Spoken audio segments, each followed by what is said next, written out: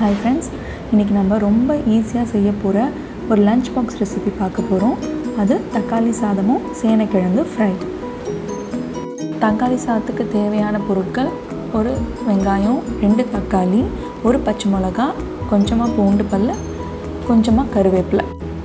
First ஒரு கடாய் எடுத்துக்கோங்க. அதில் ரெண்டு டேபிள் ஸ்பூன் எண்ணெய் ஊற்றிக்கோங்க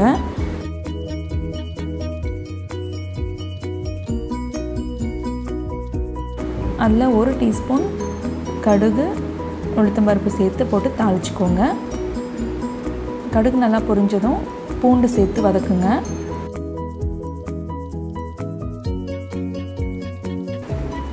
அது கூடவே கருவேப்பிலை சேர்த்துக்கோங்க. அப்புறம் அந்த ஒரு பச்சை மிளகா சேர்த்து வதக்குங்க.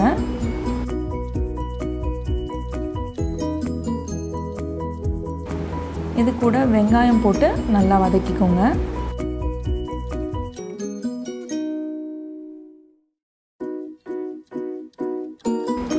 வெங்காயம் நல்லா வதங்கினதும் தக்காளி சேர்த்து நல்லா வதக்குங்க.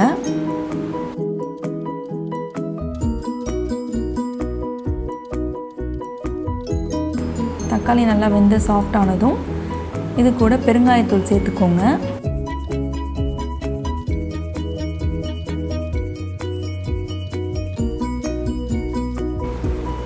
கூட அரை டீஸ்பூன் மஞ்சத்தூள் சேர்த்துக்கோங்க. ரெண்டு டீஸ்பூன் மிளகாய்த்தூள் ஒரு டீஸ்பூன் தனியாத்தூள் சேர்த்துக்கோங்க. தேவையான அளவு உப்பு சேர்த்து நல்லா மிக்ஸ் பண்ணிக்கோங்க. இது ஒரு லோ ஃப்ளேமில் ஒரு மூணு நிமிஷம் வேக விடுங்க. எல்லாம் நல்லா வெந்து எண்ணெய் பிரிய ஆரம்பிக்கும். அந்த டைமில் நம்ம வேக வச்சு வச்சுருக்கிற ரைஸ் போட்டு கலக்க போகிறோம் அவ்வளோதான் இதுக்கு ரெண்டுலேருந்து மூணு கப் ரைஸ் போட்டு நல்லா மிக்ஸ் பண்ணி விட்டுக்கோங்க. உப்பு பார்த்துக்கோங்க. தக்காளி பேஸ்ட்டாக நீங்கள் செஞ்சு ஃப்ரிட்ஜில் வச்சுட்டு ரெண்டு மூணு நாள் வரைக்கும் நல்லா யூஸ் பண்ணலாம். காலையில் எழுந்துச்சி வெறும் ரைஸ் மட்டும் கலந்து கொடுத்துக்கலாம். கடைசியாக கொஞ்சமாக கொத்தமல்லி தீவி இறக்கிட போகிறோம் அவ்வளோதான் சுவையான தக்காளி சாதம் ரெடி இப்போ இதுக்கு ஒரு சூப்பரான சைட் டிஷ் பண்ண போகிறோம் அது வேறு ஒன்றும் இல்லைங்க சேனைக்கிழங்கு ஃப்ரையை ஃபஸ்ட்டு ஒரு கால் கிலோ சேனைக்கிழங்கு எடுத்து நல்லா க்யூப் க்யூபாக கட் பண்ணி சுடு தண்ணியில் போட்டு உப்பு மஞ்சத்தூள் போட்டு ஒரு ஃபைவ் மினிட்ஸ் கொதிக்க விடுங்க. அப்புறம் அந்த தண்ணியெல்லாம் எடுத்து வடிகட்டி வச்சுக்கோங்க. இப்போ ஒரு தவா எடுத்துக்கோங்க. அதில் ரெண்டுலேருந்து மூணு ஸ்பூன் எண்ணெய் ஊற்றிக்கோங்க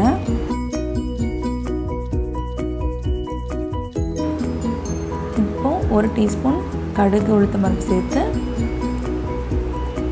தாளிச்சிக்கோங்க.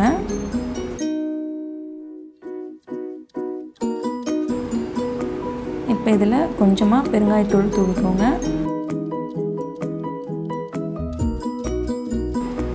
கருவேப்பிலை போட்டு வதக்குங்க. இப்போ நம்ம வேக வச்சு வச்சுருக்க சேனைக்கிழங்கை போட்டு நல்லா மிக்ஸ் பண்ணுங்கள்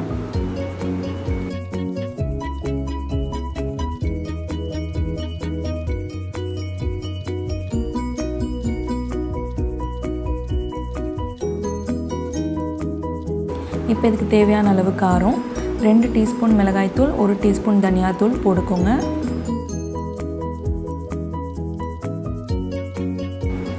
கொஞ்சமாக உப்பு போட்டுக்கோங்க.